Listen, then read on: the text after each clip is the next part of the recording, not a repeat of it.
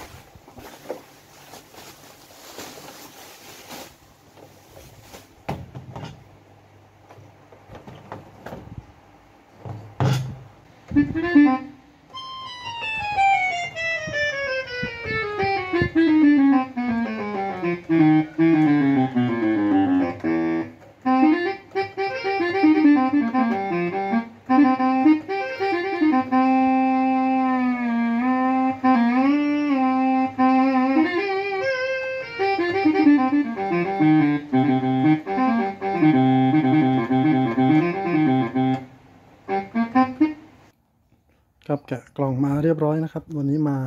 สิบเครื่องนะครับามาดูตัวแรกนะครับ นี่จะเป็นโรแลนนะครับโรแลน AX1 จะเป็น MIDI controller นะครับเป็นคีย์บอร์ดใบครับว่าเป็นคีย์บอร์ดใบนะครับ MIDI คีย์บอร์ดสภาพสวยมากนะครับ มีสายสะพายให้นะครับ ตัวนี้หม้อแปลงมีให้นะครับหม้อแปลงเทียบ ตัดมาข้างบนนะครับโรแลนจูโนดี สภาพสวยพร้อมกระเป๋านะครับ เครื่องนี้คีย์ดังไม่ครบนะครับ กดดังไม่ครบทุกคีย์นะครับเนาะถัดมาข้างบนนะครับ Roland XP10 นะครับ ตัวในตำนานอีกตัวหนึ่งนะครับของค่าย Roland นะครับ เครื่องนี้จะเป็นรุ่นแรกนะครับ เป็นจอจอขาวดำนะครับถัดมาฝั่งทางนี้ครับ Casio CTX 5000 ครับ CTX 5000อืมอันนี้เป็นหน้ากากเฉยๆนะครับ ภาษาญี่ปุ่นนะครับ นี่แกะออกได้ครับนี่ครับยังไม่ได้แกะออกเฉยๆสภาพสวยมากนะครับ รุ่นนี้นี่ถ้าถ้าออกใหม่นี่ประมาณเกือบสองหมื่นสี่นะครับ CTX ห้าพันเรื่องนี้รอหม้อแปลงนะครับ ยังไม่มีหม้อแปลงยังไม่ได้เช็ค ตัดมาด้านบนครับ นี่คาซิโอ CTK หกศูนย์ศูนย์ศูนย์สภาพดีนะครับ สภาพสวย ลงจังหวะไทยได้นะครับ ด้านบนนะครับบนสุดแถวนี้จะเป็น Korg นะครับ microARRANGER นะครับ สภาพสวยงามเลยนะครับคีย์ขาวลงจังหวะสร้างจังหวะได้นะครับตรงนี้ ถัดมาทางนี้ครับยามาฮ่านะครับ Yamaha CS 2X เครื่องนี้ body แตกนะครับ body แตกฝั่งซ้ายนะครับ แล้วก็ฝั่งขวาทั้งสองแต่ค่อนข้างเยอะอยู่นี่ถัดลงมานะครับจะเป็นยามาฮ่า PSR E 3 7 3นะครับ นานมาทีนะครับรุ่นนี้ มาพร้อมที่วางโน้ตเพลงนะครับ ถัดลงมาทางนี้จะเป็น Yamaha นะครับ PSRE 433สามสามสภาพสวยมากๆ เครื่องนี้นะครับ เนียนกริบเลยตัวสุดท้ายสำหรับวันนี้จะเป็น Yamaha นะครับ SHS 10 10B นะครับ สีดำสภาพสวยมากแต่คีย์ฝั่งทางนี้กดไม่ดังนะครับ ไม่มีเสียงนะครับนะครับท่านไหนสนใจก็ทักมาสอบถามได้นะครับช่องทางในการติดต่อ ครับจะเป็นเบอร์นี้นะครับนี่ครับโอเคครับ คลิปนี้ขอบคุณครับ สวัสดีครับ